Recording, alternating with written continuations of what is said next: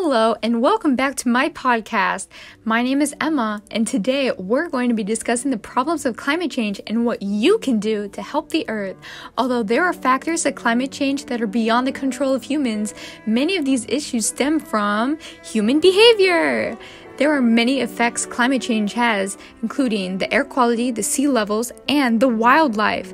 There have been numerous ways to combat climate change, including protests and even having world leaders come up with solutions.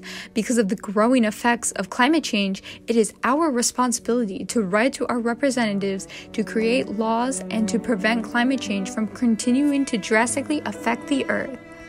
To further understand this issue, I have reached out to scientists to better understand how climate change is affecting the sea levels and the air quality. A scientist who prefers to remain anonymous has agreed to come over and answer the questions that many of us have. Hi, thanks for taking your time to come and visit us. How are you doing? I'm doing fine. That's good. So, I heard you specialize in researching how sea levels and air quality are being affected by climate change. Yeah, I work for the National Oceanic and Atmospheric Administration and the EPA. I am one of the researchers who collect data and send the information to those agencies. That's cool. So, what can you tell me about how sea levels are being affected by climate change? Basically, the sea levels have been rising since 1880 and they've risen 8 to 9 inches.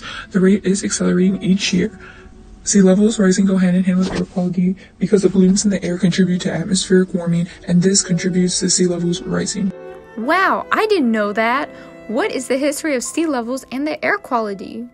The air quality has been melting the ice caps, and this results in sea levels rising. Due to the increase of CO2 being released into the atmosphere, it is warming the planet because of the greenhouse effect. The greenhouse effect is when the sun's radiation enters the Earth's atmosphere and warms the planet. Instead of being reflected back into space, CO2 and other gases trap the heat, causing climate change. This causes sea levels to rise. What is the public's opinion from what you've seen?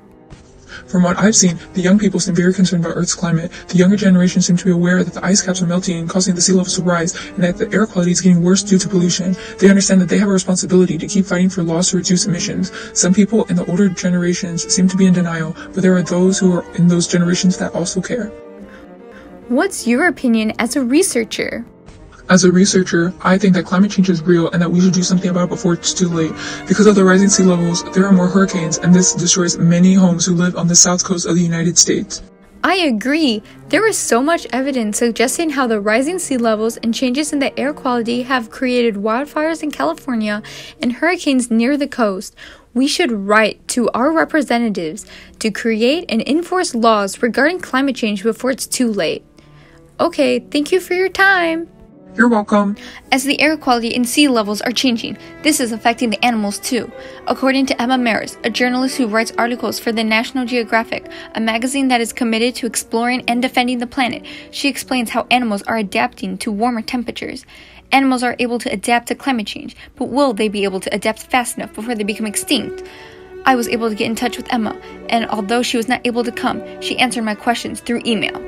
My first question to her was, How have many animals been affected by climate change? She responded by saying how animals were able to survive by moving to cooler habitats and changing their normal cycles to match the temperatures. According to a study, spring is shifting 1.7 days earlier between 1954 and 2007. Because of this, birds have adapted by nesting earlier and plants are flowering and leafing earlier as well. Will all species be able to adapt quickly as to not become extinct? That is a little bit tricky to answer, she replied. Take fruit flies, for example. Adult female fruit flies lay about 2,000 eggs, and in 30 hours, those eggs begin to hatch. They are all grown up and they are able to mate and lay eggs in two days. Because of this, they have more generations to adapt and evolve compared to a species that takes longer to fully mature and mate. The species with low genetic variability will have a hard time adapting as well, she added. Those species do not possess a variety of genes that will help them be able to adapt quicker, and this will put them at a disadvantage. My opinion? I think animals are being affected by climate change as much as the earth is being affected. Because the earth is changing, the animals have resorted to adapting to survive. If we can lower the emissions and reduce the effect of climate change, the animals will have a better chance of surviving, and there won't have to be any species to go extinct. It is our responsibility to reduce the effects of climate change. Although there are people who don't see how animals are being affected by climate change, Scientific research has shown that animals are evolving due to rising temperatures. Certain physical traits are being altered to fit the newer climate, but there will ultimately be animal species going extinct if we don't act fast. If we reduce the effects of climate change, the animals would have more time to adapt and the risk of going extinct would be greatly decreased. So, everything that we know so far, what have countries done about climate change? According to the Imperial College of London website, which is specialized in providing factual information regarding many different topics, the countries from all over the world have signed the Paris Agreement, which is a pledge to limit the increase in global warming below 2 degrees Celsius with a goal to keep it to 1.5 degrees Celsius. 194 states and the European Union have signed this pledge, including the United States. The Paris Agreement goal is to reduce global warming internationally, with the UK leading the way. According to an analysis point of view, the UK should be the one to lower its emissions faster because they were the ones who were responsible for climate change in the first place. The UK is one of the largest per person contributors to present climate change, hence, their reasoning that the UK should be more ambitious with their goals. From an environmental activist point of view, the Paris Agreement plan is a good solution. By being able to come together as many nations, there is so much more that can be done as a whole. The environment will be able to change for the better, and the animals will have more of a chance for survival. From my point of view, I believe that the Paris Agreement Act is beneficial as well. Many countries have come together to take a stand, and this will ultimately help reduce the effects of climate change. The statistics have shown that as the GDP increased, the rate of CO2 emissions have decreased in the UK alone. This shows that it is possible to make money while also taking care of the earth. The Paris Agreement is a very good solution towards taking the steps to fight against climate change and to help the Earth. We are responsible for the Earth changing due to climate change, so it is only right if we take the steps to reduce emissions to help reduce the effects of global warming. Although countries taking action is a huge step towards fighting against climate change, it is equally important to know what the people living in those countries are doing to educate others about the dangers of climate change. I was able to speak to Olivia Kisten, who is one of the authors of the article 12 Important Moments in the History of Climate Action in Photos for the Global Citizen, an organization whose mission is to fight against climate change, amongst other serious issues going around in the world. Hi! Hi, thanks for inviting me here. Of course. Okay, so what moment do you think was the most important moment in the history of climate action? I think that the most important moment in the history of climate action was the first Earth Day held on April 22nd, 1970.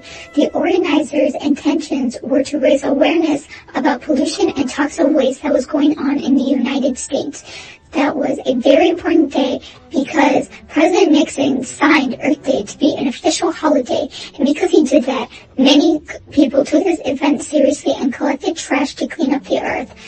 Other countries followed suit, and now 200 million people in 141 countries participate in Earth Day each year. Now, there are many more countries that are aware of climate change, and thanks to these protesters, Earth Day is now a well-known holiday worldwide. You're absolutely right. Earth Day has helped unite so many people to fight against climate change and clean the environment. Do you think we still have a long way to go despite all the accomplishments environmental activists have achieved? Of course, although we have come a long way, there is still more to improve upon. We can start by adding more regulations and finding ways to switch from fossil fuels to renewable energy to fuel our vehicles. We can also make public transport systems better quality so that more people can rely on them instead of driving their cars and emitting pollution. Although this is a lot of money and it will take a lot of time, if the government representatives fought for climate change, the effects of climate change would be drastically decreased. Why do you think that the government leaders aren't doing as much as you think they should be doing? Well, from their perspective, they would rather use the money on other things such as improving trade relations and relationships between other countries. While this is also important, fighting for climate change is equally important. They do not put climate change as equal to the other matters when it should be equal. Government officials would rather budget their money focusing on other needs than climate change. I do not agree with their viewpoint, but hopefully they will realize that climate change is important and start to do more things to help fight against climate change. I agree. Although that the leaders are hopefully trying to do its best for the country, climate change isn't something that can just be pushed around. It is very important as well. In my opinion, I believe that without the help of the environmental activists in the past, we would not be where we are today. Thankfully, although we are not in a stable position, we are far better than where we began. As citizens, we should continue to spread awareness about climate change and continue what the environmental activists in the past have started to make a difference. Thank you so much! You're welcome. Although there are many things being done to fight against climate change, there are things you can do as a citizen. You can write letters to your representatives and spread awareness through protesting and posting on social media. With your help, you can make a difference and get government leaders to pass laws to help fight against climate change, and the earth will become a better place. You are the future, and the world needs you.